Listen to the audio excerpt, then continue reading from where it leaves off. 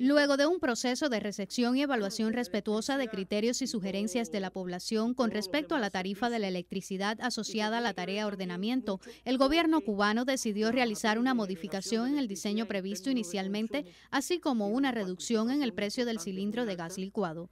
Estos cambios repercuten positivamente en la población. Era necesario hacer una adecuación y una mayor coherencia con lo que gana la gente y los salarios. Encuentro muy bien que hayan bajado, porque de verdad el precio que tenía la corriente al principio era excesivo.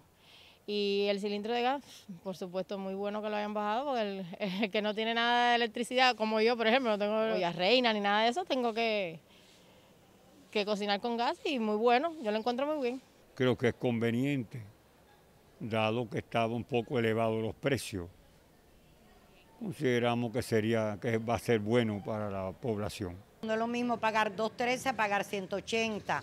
Sabemos la situación que tiene nuestro país. Entonces, bueno, una rebaja es muy importante. Lo que tenemos que ahorrar. La decisión gubernamental no solo beneficia al pueblo al modificar tramos y reducir costos, sino que también mantiene el principio de estimular el ahorro en el sector residencial. La palabra es ahorrar que es lo principal para ayudar al, país en la economía.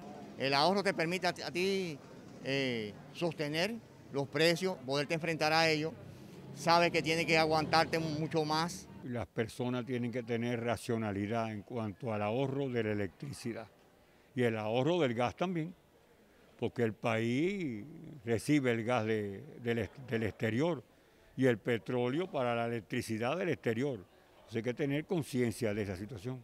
Creo que para el país lograr su desarrollo, debido al bloqueo, al COVID y a todo lo que sabemos que ha pasado durante estos años, es importante ahorrar en todos los sentidos. Desde Santiago de Cuba, Rocío López Pardo, Sistema Informativo de la Televisión Cubana.